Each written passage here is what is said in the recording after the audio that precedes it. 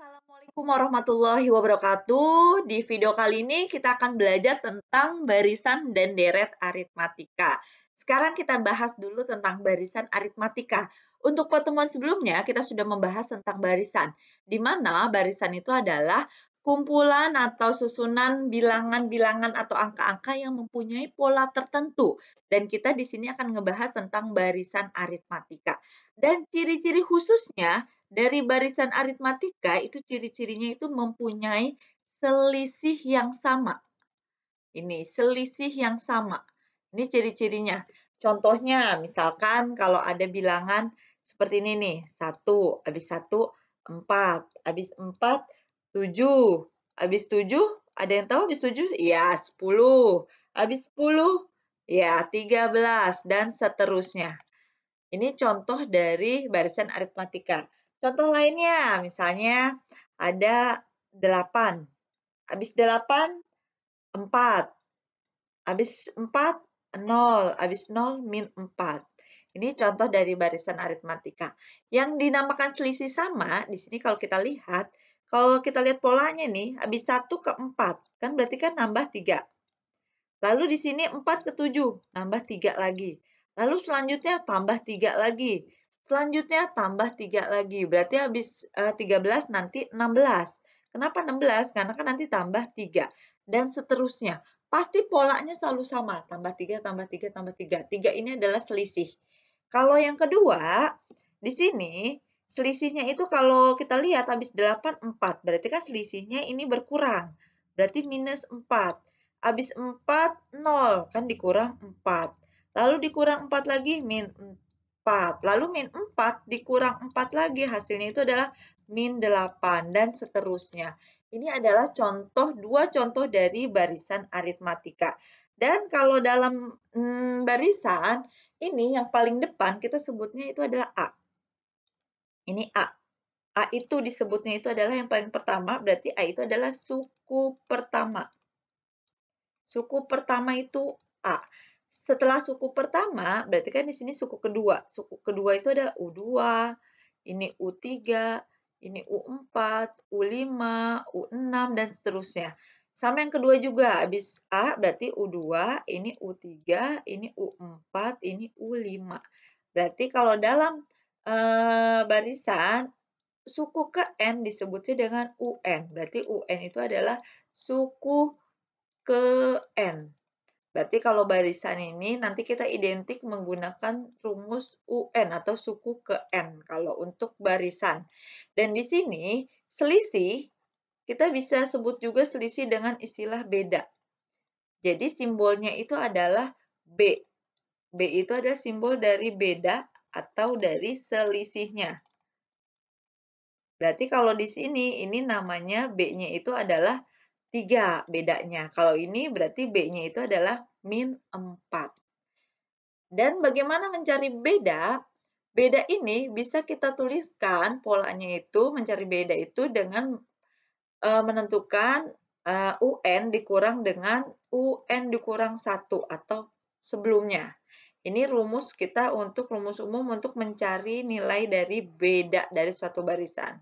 Contohnya, misalkan kita punya barisan yang baru nih.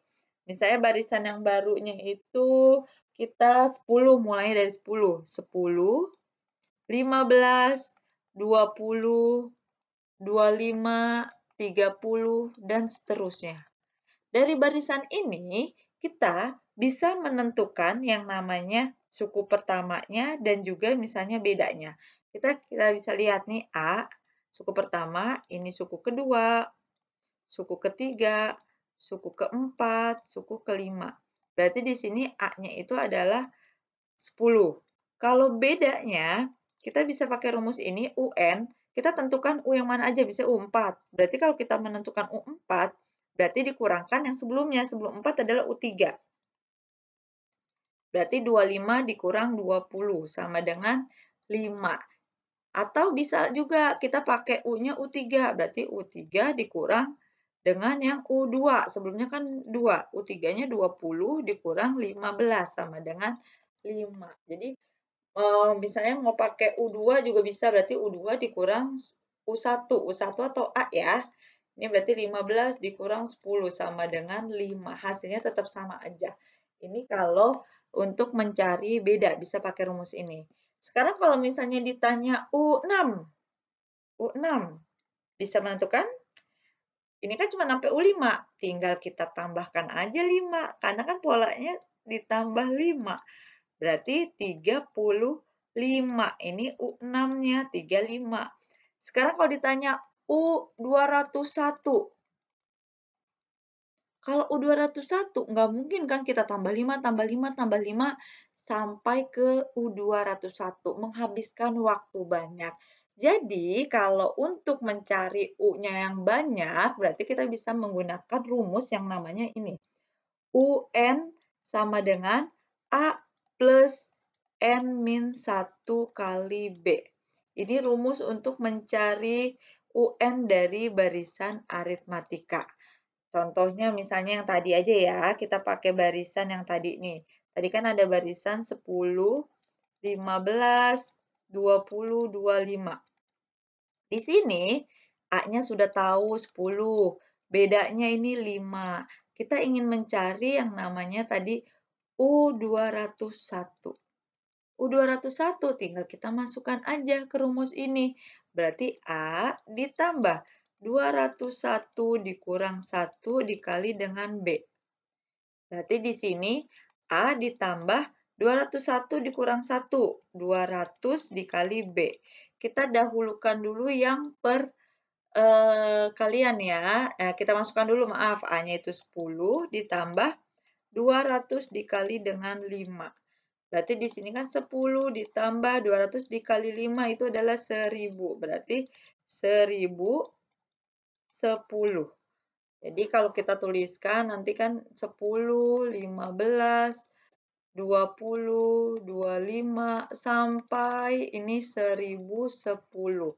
1010 ini adalah ini kan suku pertama, suku kedua, suku ketiga, suku keempat, terakhir itu ada suku ke-201. Ini tadi kalau kita diminta untuk menentukan suku ke-201 dari barisan ini. Ini adalah jawabannya. Ini jawabannya yang ini. Oke, sekarang kita beralih ke deret.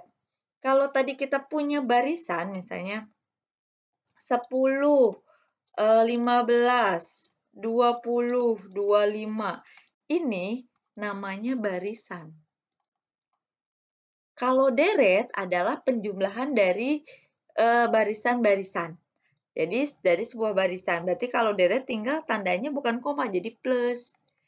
Ini adalah penjumlahan dari suatu barisan. Ini yang disebut namanya deret. Atau simbolnya itu adalah SN. Ini simbolnya itu SN. Atau bisa ditulis juga kalau SN itu penyebutannya itu adalah jumlah N suku pertama. SN di sini jumlah N suku pertama. Kalau S3 berarti kan jumlah tiga suku pertama. Misalkan di sini ada baris 10 plus 15 plus 20 plus 25 plus dan seterusnya. Ditanya, tentukan nilai dari misalnya S3. Berarti S3 dijumlahin aja. 10 ditambah 15 ditambah 20. Berarti hasilnya itu adalah 10, 20, 30, 40, 45. Ini 45 nilai S3.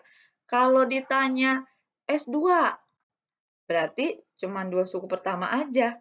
10 ditambah dengan, ini kan uh, bisa kita lihat ya, ini nanti dulu biar nggak bingung dulu. Ini, ini kan suku pertama, suku kedua, suku ketiga, suku keempat. Kalau ketiganya itu kan suku pertama ditambah suku kedua ditambah suku ketiga. Ini adalah S3. Kalau S2 suku pertama ditambah suku kedua saja.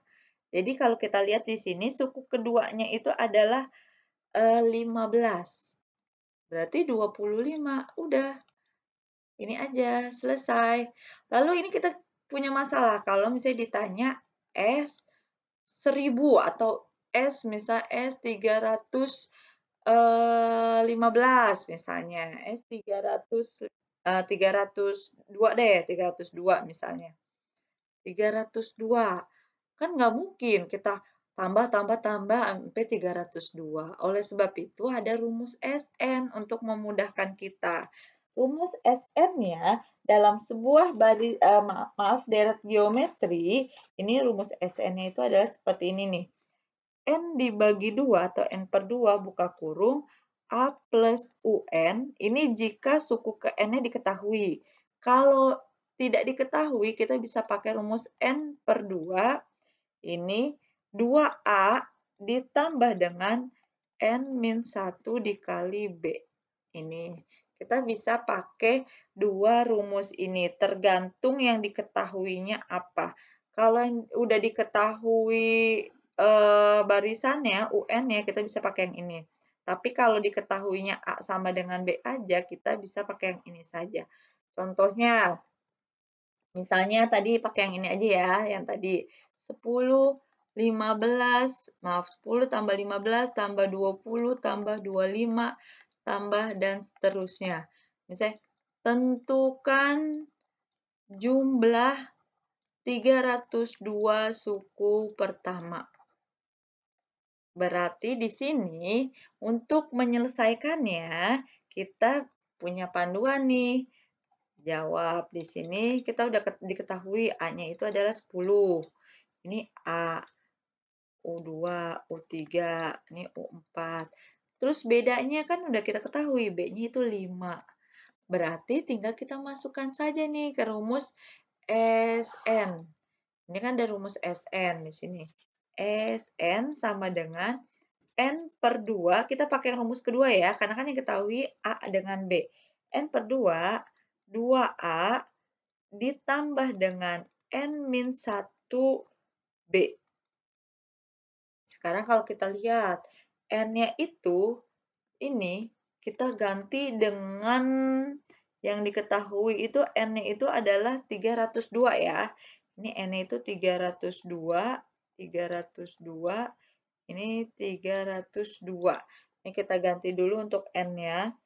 Ini lalu yang lainnya, ini berarti S302, ini per 2, Jadikan 2A ditambah dengan 302 dikurang 1 dikali dengan B. Sekarang kita um, operasikan nih. Ini 302 per 2, 2 per 2 dikali 2 dikali A, A-nya itu 10. Ditambah 302 dikurang 1, kan 301 dikali B-nya itu adalah 5. Ini lanjut di sini ya, S302. 302 per 2, ini tetap dulu. Lalu 2 dikali 10, berarti kan 20 ditambah 301 dikali 5. Kita hitung nih, 301 dikali 5. 5, 0, eh, 15 ya, berarti 1505. 1505. Kita operasikan dulu yang dalam kurung, ini 302 per 2. 1505 ditambah 20, berarti 1525. Ya, ini tinggal kita operasikan saja. Ini kalau bisa dicoret dengan dua, kita coret, tapi ini tidak bisa dicoret ya. Berarti kita uh, hitung manual. Pertama, 302 ini dikalikan dulu dengan 1525 hasilnya itu adalah 460 eh, 1550 baru dibagi dengan 2 dibagi dengan 2 ini hasilnya 230 1275. Kenapa banyak? Karena kan semuanya dijumlahin. Nanti dijumlahin, nanti kalau sampai 302 dijumlahin ini hasilnya. Oke, ini untuk deret aritmatika. Berarti S302 adalah 230.275. Oke, sekarang latihannya. Satu soal saja. Dari barisan 40, 44, lalu 48, lalu 52, 56, dan seterusnya.